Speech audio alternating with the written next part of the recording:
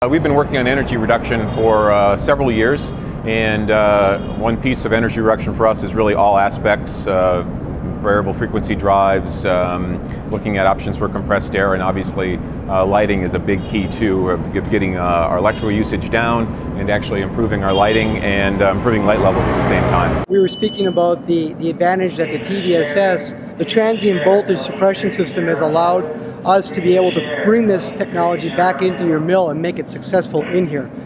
Uh, yes. A lot of times in heavy fabrication and a, and, and a heavy production environment, you run into scenarios where just the inherent use of the machinery used to make their product actually adds uh, harmonic fluctuations in power, which is called a transient. What that is is that's just a uh, that's a, a, spike in the power, if you will, that and electricity always follows the path of least resistance. So that spike is going to go somewhere before it settles out. Where it lands, the path of least resistance, usually that's something digital. In our world, with the technology we utilize uh, and engineer for our clientele, it is digital, which means it's the path of least resistance a lot of times for improper uh, power uh, disruptions called transients. The use of a transient voltage suppression system would actually then that, that unit actually gets installed on a lighting systems panel, the power distribution that feeds the actual lighting system.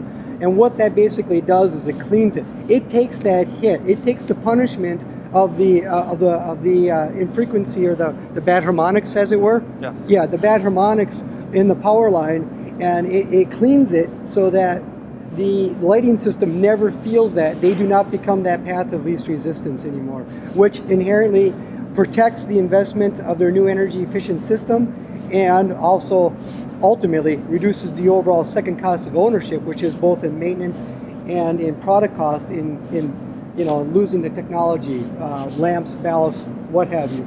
You know, it's getting to be more and more important to us, to our customers, uh, to people around us that uh, they hear a lot of bad things about uh, industry and, and uh, energy use and uh, um, us going out and look, working on both the sustainable side in the forestry and also reducing our, our carbon footprint uh, is becoming more and more important in the community.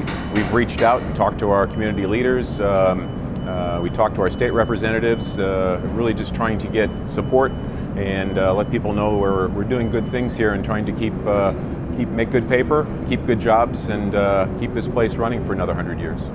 Uh, the TVSS was something that we didn't have uh, much knowledge about until the Wasmer company came in, presented us information on that, uh, showed us a sample of it, and then we uh, seen what results actually occur because of using one of those.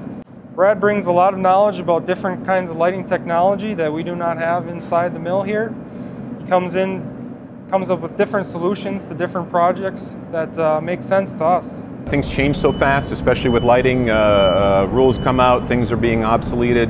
Um, there's new ideas, new products. Uh, it's hard for us to keep up with that. So uh, we bring folks in here to help us. Uh, they'll have good ideas. Uh, know that, um, like for example, here we end up putting up less lamps than before, which we might not have done, where we'd be more replace in kind.